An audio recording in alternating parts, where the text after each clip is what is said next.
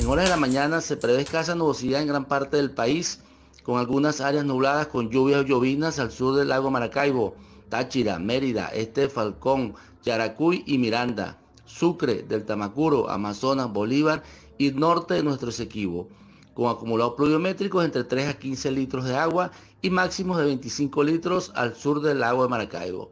Durante la tarde y noche continuará predominando la escasa nubosidad en gran parte del país, con algunos incrementos nubosos y lluvias de intensidad variable en zonas al sur del lago de Maracaibo, los Andes, Falcón, Sucre, Monaga, del Tamacuro, Amazonas, Bolívar y nuestro Esequibo, con acumulados pluviométricos entre 5 a 20 litros de agua y máximo de 25 litros en del Tamacuro.